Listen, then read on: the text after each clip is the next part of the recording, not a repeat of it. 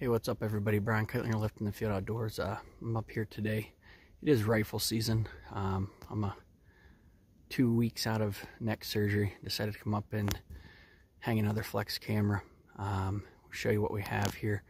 We're going to be um, hanging a flex with the new lithium solar panel that uh, SpyPoint's offering. So let's show you what they have to give you with this to set it up. So they give you this mounting bracket as well as a strap you can put around the tree, but this mounting bracket allows you to move the panel all around. You can loosen this and you can adjust the panel. Um, we're gonna face the panel to the south so that it gets the most light and we're gonna put the camera underneath it and position it. So we'll take a second and we'll add the solar panel next. Okay, so there's three different mounting brackets on the back of this solar panel that has the lithium battery. Here's your lithium. And uh, you can put it on to here and then you can adjust it up and down, move it however you want. And again, we're gonna face it towards the south so it gets the most direct light. Underneath you have your areas. We're gonna plug it into the to the 12 volt um, plug over here. And then we're gonna hang our camera. All right, now we're going to show you how we, we hook the camera up. Okay, I like to run these wood hoods on my on my cameras. Notice, you know, the antenna's down.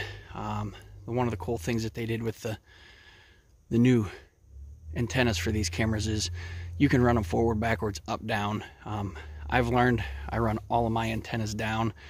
Uh, this particular area I'm in does not have very good cell service. A lot of times I have zero cell service on my on my phone, but I have plenty of cell service to send pictures every two hours.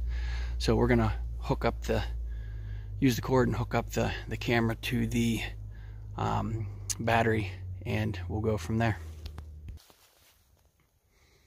Okay, one of the key things you have to make sure you do if you're going to run this uh, particular panel from SpyPoint is um, make sure you hook it into the back and you hook it into the 12 volt out that's up there and we'll power it on here in a minute but before you go and power on this camera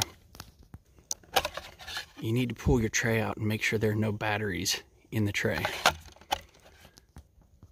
You do not need to run batteries uh, in this at all. If you do run batteries uh, it could damage your camera. So we'll turn it on and get it all going.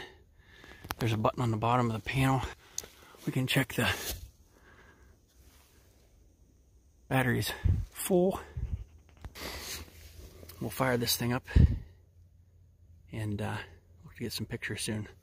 Brian Kightlinger, God bless, Left In The Field Outdoors, SpyPoint Flex, set up with the lithium solar panel. Talk to you later.